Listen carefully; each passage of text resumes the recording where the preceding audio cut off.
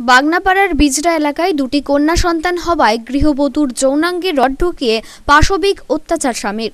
গুরুতর আহত অবস্থায় শনিবার থেকে কালনা হাসপাতালে চিকিৎসাধীন আক্রান্ত গৃহবধূ। কালনা নিবুজি কোম্পানি ডাঙ্গা এলাকার বাসিন্দা শরীফা বিবির বিয়ে হয় দু হাজার ষোলো সালের কালনার বাগনাপাড়া বিজরা এলাকার তৌফিক শেখ নামে এক ব্যক্তির সাথে।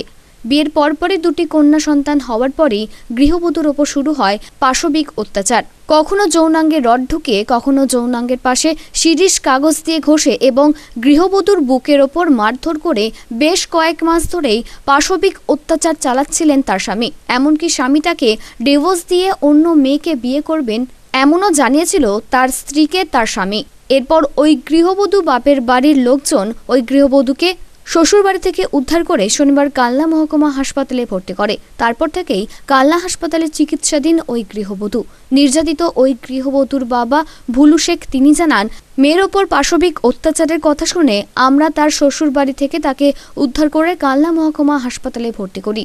আমার দুটো নাতি হয়েছে দুটি মেয়ে কন্যা সন্তান। আচ্ছা দিয়ে এরপরে আর ওরা চাচ্ছে কি আর তো সন্তান হবে না? ওই নাইট্রেশন করিয়ে নিয়েছে। আচ্ছা। নাইট্রেশন করিয়ে নিয়ে তবে বলেছে তোমার মেয়ে অপারেশন করিয়ে নিয়ে তবে আমার বাড়ি ফিরে যাও। আমি অপারেশন করে নিয়ে গিয়ে ফিরে এসেছি। তারপরেও যা অত্যাচার করে স্বাভাবিক অত্যাচার মানে মানুষকে দেখানোর মতন নয়। যেটা যে অত্যাচার ঘরের ভেতরে হয় সেইগুলোই করেছে। আমার পরিবারকে বলেছে পরিবারের মুখ থেকে আমি সব শুনেছি।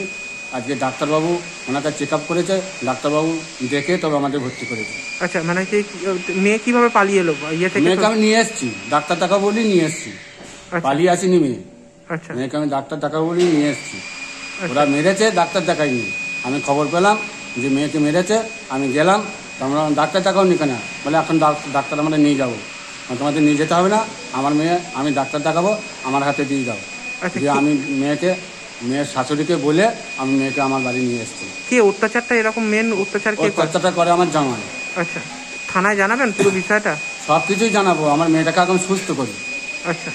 পুরো ঘটনা কালনা থানায় লিখিত অভিযোগ দায়ের করেছেন নির্যাতিতার বাবা ও নির্যাতিতার আত্মীয় স্বজন। মারধর করল আপনাকে?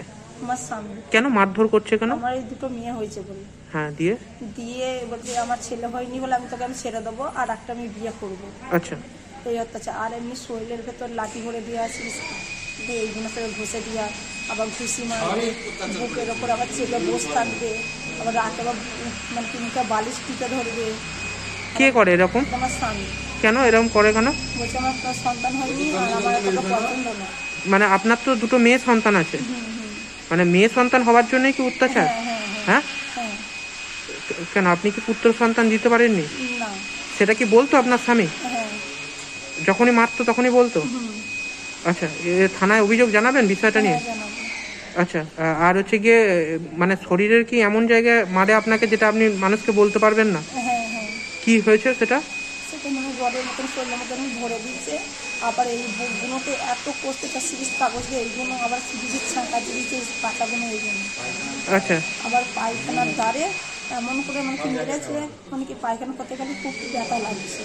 আচ্ছা এটা কতদিন ধরে চলছে এরকম অত্যাচার? অত্যাচার হয়েছে মানে এক বছর ধরে তো আমি টুকটাক এমনি মারছে আর এই এক সপ্তাহ ধরে আমাকে প্রচুর জ্বালাচ্ছে। আচ্ছা। মানে গলায় দরজে টানিয়ে দিতে যাচ্ছে বালিশ টিপে মেরে দিতে যাচ্ছে আমার মানে কি মদ খেয়ে আসবে আর এরম অত্যাচার করবে। আচ্ছা মানে এটা কি সমস্তটাই আপনার এই দুটো সন্তান হওয়ার জন্যই? হ্যাঁ হ্যাঁ। দুটো কি কি সন্তান হয়েছে আপনার? দুটোই নিয়ে আর দুটো মেয়ে হওয়ার পরই এরকম অত্যাচার? কালনা থেকে রীতা ভট্টাচার্য রিপোর্ট আনন্দ বার্তা।